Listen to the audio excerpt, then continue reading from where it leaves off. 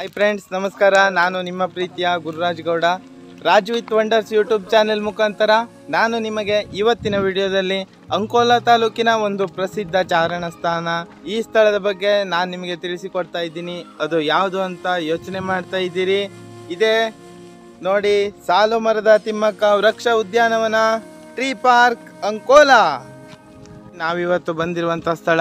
ಅಂಕೋಲ ತಾಲೂಕಿನಿಂದ ಕೇವಲ ಒಂದೂವರೆ ಕಿಲೋಮೀಟರ್ ಒಳಗೆ ಬಂದರೆ ಹುಲಿದೇವರವಾಡ ಅನ್ನುವಂಥ ಗ್ರಾಮ ಇದೆ. ಅಲ್ಲಿ ಇರುವಂಥ ಸ್ಥಳವೇ ಸಾಲು ಮರದ ತಿಮ್ಮಕ್ಕ ವೃಕ್ಷ ಉದ್ಯಾನವನ ಟ್ರೀ ಪಾರ್ಕ್ ಅಂತಲೇ ಫೇಮಸ್ ಆಗಿರುವಂಥ ಉದ್ಯಾನವನ ಇದು. ಬನ್ನಿ, ಇಲ್ಲಿ ನೋಡೋಣ. ಎಂಟ್ರೆನ್ಸ್ಗೆ ಸಮಯವನ್ನು ಹಾಕಿದ್ದಾರೆ. ಪ್ರವೇಶ ಸಮಯ ಬೆಳಿಗ್ಗೆ ಒಂಬತ್ತರಿಂದ ಸಂಜೆ ಆರು ಗಂಟೆಯವರೆಗೆ. ಬನ್ನಿ. ಈಗ ನಿಮಗೆ ಟ್ರೀ ಪಾರ್ಕ್ ಯಾವ ಥರ ಇದೆ ಅಂತ ತೋರಿಸ್ತೀನಿ.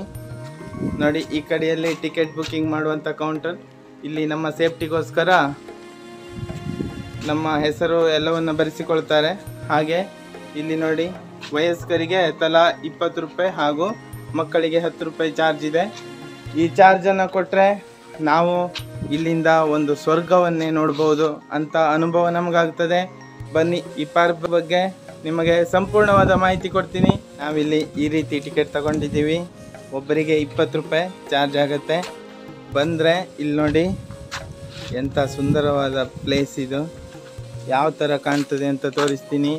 ಎಂಟ್ರೆನ್ಸ್ಗೆ ಬಂದ ಕೂಡಲೇ ನಮಗೆ ಇಲ್ಲಿ ಇಲ್ಲಿ ಫ್ರೀ ಪಾರ್ಕ್ ಉದ್ಘಾಟನೆ ಆದಂಥ ಸಂದರ್ಭದಲ್ಲಿ ಇದ್ದವರ ಹೆಸರನ್ನು ಇಲ್ಲಿ ಬರೆದಿದ್ದಾರೆ. ಆದರೆ ಇದು ಯಾವ ಶೇಪಲ್ಲಿದೆ ಅಂದರೆ ಯಾಣದ ಕಲ್ಲಿನ ರೀತಿಯಲ್ಲಿ ತೋರಿಸ್ತಾ ಇದೆ. ನಾನು ನಿಮಗೆ ಮುಂದಿನ ವಿಡಿಯೋದಲ್ಲಿ ಕೂಡ ಯಾಣದ ಕಲ್ಲಿನ ಬಗ್ಗೆ ವಿಡಿಯೋ ಮಾಡ್ತೀನಿ, ಅಲ್ಲಿಗೆ ಹೋಗ್ತೀನಿ. ನಾವು ಎಂಟ್ರೆನ್ಸಿಂದ ಬಂದ ಕೂಡಲೇ ಸುತ್ತಲೂ ಹಸಿರಿನ ರಾಶಿ, ಅದರ ಮಧ್ಯೆ ನಮ್ಮ ಸ್ವಾತಂತ್ರ್ಯ ಹೋರಾಟಗಾರರು ಮಹಾತ್ಮ ಗಾಂಧೀಜಿಯವರ ಸ್ಟ್ಯಾಚ್ಯೂ ಕೂಡ ಇದೆ. ನೋಡಿ ಮಹಾತ್ಮ ಗಾಂಧೀಜಿಯವರ ಸ್ಟ್ಯಾಚು ಎಷ್ಟು ಸುಂದರವಾಗಿ ಕಾಣ್ತಾ ಇದೆ. ಈ ಹಸಿರಿನ ಮಧ್ಯೆ ಸುಂದರವಾಗಿ ಕಂಗೊಳಿಸ್ತಾ ಇದೆ. ಈ ಕಡೆ ನೋಡಿ.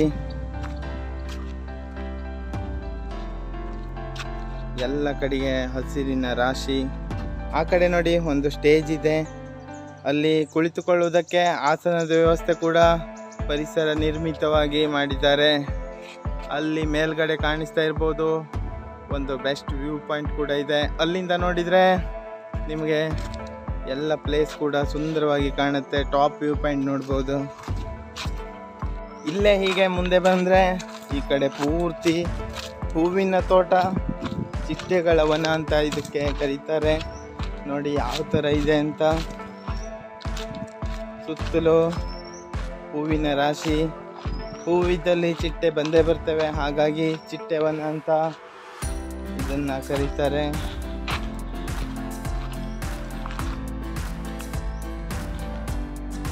ಇಲ್ಲಿ ಯಾವ್ಯಾವ ರೀತಿ ಕೀಟಗಳು ನಮ್ಮ ಉತ್ತರ ಕನ್ನಡ ಜಿಲ್ಲೆಯ ಪರಿಸರದಲ್ಲಿ ಅರಣ್ಯಕ್ಕೆ ಹೊಂದಿಕೊಂಡು ಬದುಕ್ತಾ ಇವೆ ಅಂತ ಅದರ ಬಗ್ಗೆ ಒಂದು ಲೀಸ್ಟ್ ಮಾಡಿ ತೋರಿಸಿದ್ದಾರೆ. ಹಾಗೆ ನೋಡಿ ಈ ಮರಕ್ಕೆಲ್ಲ ಬಳ್ಳಿಗಳು ಯಾವ ರೀತಿ ಹಬ್ಕೊಂಡಿವೆ ಅಂತ.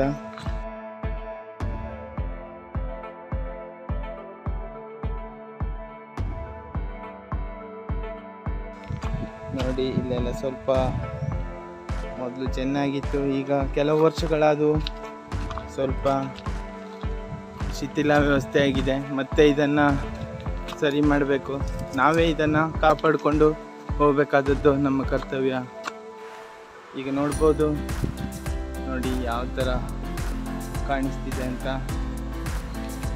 ನೋಡಿ, ಈ ವನದಲ್ಲಿ ಅಂಕೋಲೆ ವನ ಅಂತ ಕರೀತಾರೆ. ಯಾಕಂದರೆ ಅಂಕೋಲೆ ಅನ್ನುವಂಥ ಸಣ್ಣ ಕರ್ಪೂರದ ಗಿಡದ ಎಲೆಗಳನ್ನು ಹೊಂದಿರುವಂಥ ಮರ ಇಲ್ಲಿ ಸುತ್ತಲೂ ಇದೆ. ಹಾಗೆ ಈ ಊರಿಗೆ ಅಂಕೋಲ ಅಂತ ಬರುವುದಕ್ಕೆ ಕಾರಣವೂ ಅದೇ. ಅಂಕೋಲೆ ಅನ್ನುವಂಥ ಮರಗಳು ತುಂಬ ಹೆಚ್ಚಾಗಿ ಇಲ್ಲಿವೆ. ಹಾಗಾಗಿ ಈ ಊರಿಗೆ ಅಂಕೋಲೆ ಅನ್ನುವಂಥ ಹೆಸರು ಬಂದಿದೆ ಅಂತ ಕೂಡ ಹೇಳ್ತಾರೆ. ಇಲ್ಲಿ ನೀವು ನೋಡ್ಬೋದು ಒಂದೊಂದು ಗಿಡಗಳ ಕೆಳಗೆ ಒಂದೊಂದು ಬೋರ್ಡ್ಗಳಿವೆ.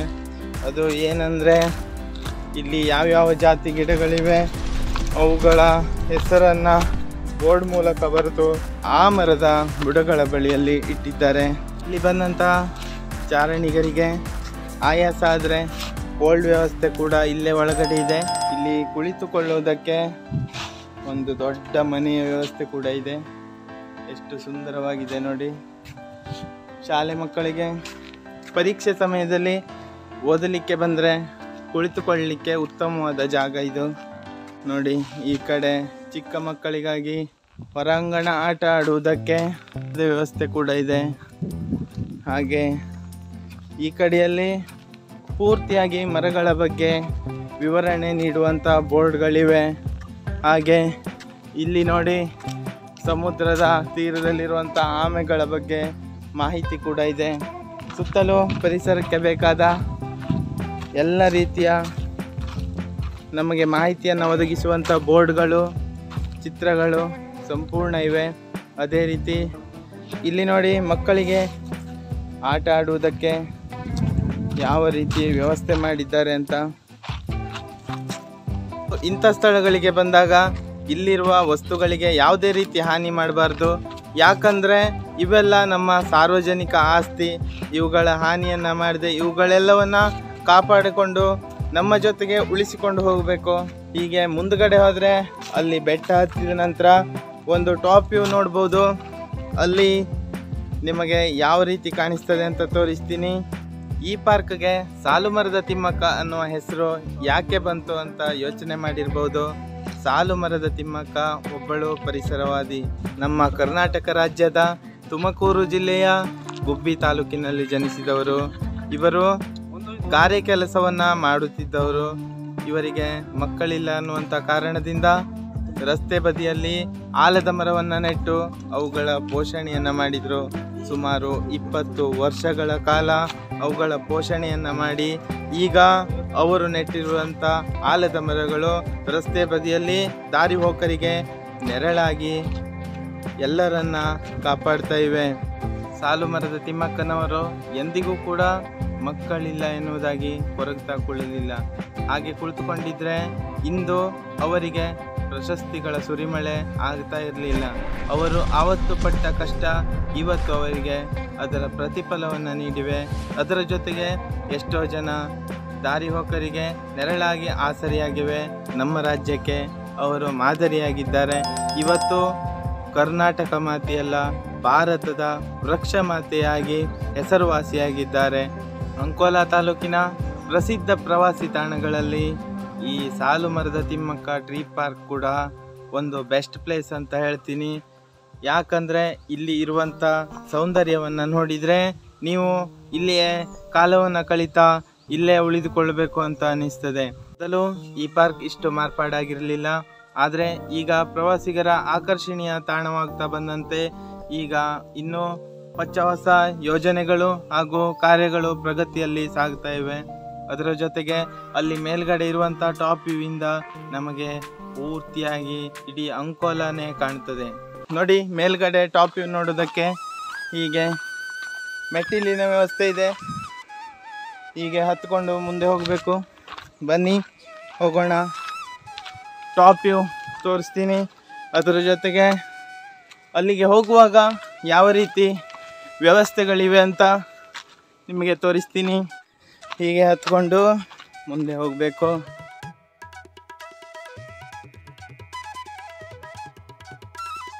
ಸುಮಾರು ನಡ್ಕೊಂಡು ಬಂದಮೇಲೆ ನಾನು ನಿಮಗೆ ತೋರಿಸ್ಬೇಕು ಅಂದ್ಕೊಂಡಿರೋ ಜಾಗ ನೋಡಿ, ಅಲ್ಲಿದೆ. ಅದೇ ವ್ಯೂ ಪಾಯಿಂಟ್. ಬನ್ನಿ ಮೇಲ್ಗಡೆ ಹತ್ತಿ. ಯಾವ ಥರ ಕಾಣ್ತದೆ ಅಂತ ತೋರಿಸ್ತೀನಿ.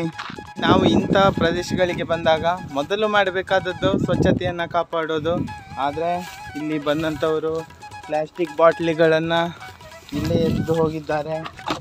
ಇಲ್ಲಿ ನಮ್ಮ ಅರಣ್ಯ ಇಲಾಖೆಯವರು ಮಾರಿಗೊಂದು ಡಸ್ಟ್ಬಿನ್ಗಳನ್ನು ಮಾಡಿಕೊಟ್ಟಿದ್ದಾರೆ. ಆದರೂ ಕೂಡ ನಾವು ನಿರ್ಲಕ್ಷ್ಯದಿಂದ ಇಂಥ ಪಾರ್ಕನ್ನು ಹಾಳು ಮಾಡ್ತಾ ಇದ್ದೀವಿ. ನಾವು ಮೊದಲನೇ ಇದಾಗಿ ಮಾಡಬೇಕಾದದ್ದು ಪರಿಸರವನ್ನು ಉಳಿಸಬೇಕು. ಅದರ ಜೊತೆಗೆ ಪರಿಸರ ಉಳಿಸಬೇಕು ಅಂದರೆ ಸ್ವಚ್ಛತೆಯನ್ನು ಕಾಪಾಡಬೇಕು. ಹಾಗೆ ಸ್ವಚ್ಛತೆಯನ್ನು ಕಾಪಾಡಬೇಕು ಅಂದರೆ ಮೊದಲು ಪ್ಲ್ಯಾಸ್ಟಿಕ್ಕನ್ನು ಬಳಕೆಯನ್ನು ಕಡಿಮೆ ಮಾಡಬೇಕು. ಬಳಕೆ ಮಾಡಿದರೂ ಕೂಡ ಅವುಗಳನ್ನು ಡಸ್ಟ್ಬಿನ್ಗೆ ಹಾಕಬೇಕು. ಬನ್ನಿ, ಇದೆ ಆ ವ್ಯೂ ಪಾಯಿಂಟ್ನ ಜಾಗ. ಮೇಲ್ಗಡೆ ಹತ್ತೋಣ. ಯಾವ ಥರ ಇದೆ ಅಂತ ವ್ಯೂ ಪಾಯಿಂಟ್ನ ನಾನು ನಿಮಗೆ ತೋರಿಸ್ತೀನಿ. ಇಲ್ಲಿ ಮೆಟ್ಟಿಲಿನ ವ್ಯವಸ್ಥೆ ಕೂಡ ಇದೆ. ಇಲ್ಲಿಗೆ ಬಂದ ಮೇಲೆ ಎರಡು ಸ್ಟೆಪ್ ಇದೆ. ನಾವು ಈಗ ಫಸ್ಟ್ ಸ್ಟೆಪ್ಪಲ್ಲಿದ್ದೀವಿ ಆಹಾ, ಇಲ್ಲಿ ಎಷ್ಟು ಚೆನ್ನಾಗಿ ಗಾಳಿ ಬೀಸ್ತಾ ಇದೆ. ಇನ್ನೊಂದು ಟಾಪ್ ಸ್ಟೆಪ್ನ ಹತ್ತಿ ಅಲ್ಲಿಂದ ವ್ಯೂ ಯಾವ ಥರ ಕಾಣ್ತಿದೆ ಅಂತ ತೋರಿಸ್ತೀನಿ. ನಮ್ಮ ಅಂಕೋಲ ಜನತೆಗೆ ಈ ಪಾರ್ಕ್ ಬಗ್ಗೆ ಗೊತ್ತೇ ಇರುತ್ತೆ. ಆದರೆ ಹೊರಗಿನವರಿಗೆ ಈ ಪಾರ್ಕ್ ಬಗ್ಗೆ ತಿಳಿಬೇಕು ಅಂತಲೇ ಈ ವಿಡಿಯೋ ಮಾಡ್ತಾ ಇರುವುದು. ಇಲ್ಲಿ ನಾನು ಮೇಲ್ಗಡೆ ಹತ್ಕೊಂಡು ಬಂದಿದ್ದೀನಿ. ಇಲ್ಲಿಂದ ಯಾವ ಥರ ಕಾಣ್ತದೆ ನೋಡಿ. ಇಲ್ಲೇ ರೋಡ್ ಇದೆ. ಈ ರಸ್ತೆ ಮೂಲಕ ಆ ಕಡೆ ಹೋದರೆ ಅಲ್ಲಿ ಇನ್ನೊಂದು ಕುಳಿತುಕೊಳ್ಳುವುದಕ್ಕೆ ಸಣ್ಣದಾದಂಥ ಮನೆ ಇದೆ. ನೋಡಿ ಯಾವ ರೀತಿ ಕಾಣ್ತಾ ಇದೆ. Ankola tree park top view point ಇಂದ ಇಡೀ ಅಂಕೋಲನೇ ಕಾಣ್ತಾ ಇದೆ. ವಿಹಂಗಮ ನೋಟ ಆ ಕಡೆಯಲ್ಲಿ ಸಮುದ್ರ ಕಾಣ್ತಾ ಇದೆ. ಸಂಜೆ ಸಮಯದಲ್ಲಿ ಬಂದ್ರೆ ಇಲ್ಲಿ ಸನ್ಸೆಟ್ ಕೂಡ ನೋಡ್ಬೋದು. ತುಂಬಾ ಸುಂದರವಾಗಿ ಕಾಣ್ತದೆ ಇಲ್ಲಿಂದ. ಹಾಗೆ ಈ ಕಡೆ ನೋಡಿ ಸುತ್ತಲೂ ಹಸಿರಿನ ರಾಶಿ. ಅಂದು ಸಾಲುಮರದ ತಿಮ್ಮಕ್ಕನವರು ಹೇಗೆ ನಮಗೆ ವೃಕ್ಷ ಮಾತೆಯಾಗಿ, ನಮ್ಮ ಮಾರ್ಗದರ್ಶಕಿಯಾಗಿ, ಪರಿಸರ ಪ್ರೇಮಿಯಾಗಿ, ಯಾವ ರೀತಿ ನಮಗೆ ಸಹಾಯ ಮಾರ್ಗದರ್ಶಕರಾಗಿದ್ದರೋ ಅದೇ ರೀತಿ ನಮ್ಮ ಅಂಕೋಲಾದಲ್ಲಿ ಹುಟ್ಟಿ ಸದಾ ಪರಿಸರವನ್ನು ಕಾಪಾಡುತ್ತಾ ಪರಿಸರದ ಪ್ರೇಮಿಯಾಗಿ, ವೃಕ್ಷ ಮಾತೆಯಾಗಿ ನಮ್ಮ ಜೊತೆಗೆ ಕಾಲವನ್ನು ಕಳೆಯುತ್ತಿದ್ದಾರೆ. ಸನ್ಮಾನ್ಯ ಪದ್ಮಶ್ರೀ ಪುರಸ್ಕೃತೆ ಡಾಕ್ಟರ್ ತುಳಸಿಗೌಡ ಅವರು. ಅವರು ಮಾಡಿರುವಂಥ ಪರಿಸರ ಸ್ನೇಹಿ ಕಾರ್ಯಗಳು ಎಷ್ಟೋ ಸಾವಿರಗಳಷ್ಟು ಗಿಡವನ್ನು ನೆಟ್ಟು ನಮ್ಮೆಲ್ಲರಿಗೂ ಮಾದರಿಯಾಗಿದ್ದಾರೆ.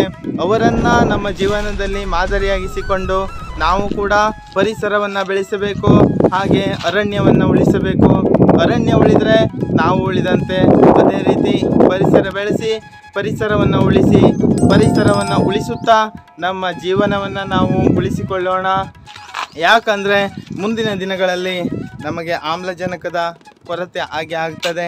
ಎಲ್ಲಿ ನೋಡಿದರೂ ಬರೀ ಬಿಲ್ಡಿಂಗ್ಗಳ ರಾಶಿಯೇ ಇದೆ ಬಿಟ್ಟರೆ ಹಿಂದೆ ಇದ್ದಂಥ ಪರಿಸರ ಮುಂದೆ ಕೂಡ ಇರಬೇಕು ಅಂದರೆ ನಾವು ಗಿಡ ಮರಗಳನ್ನು ಬೆಳೆಸಬೇಕಾದದ್ದು ನಮ್ಮ ಆದ್ಯ ಕರ್ತವ್ಯ.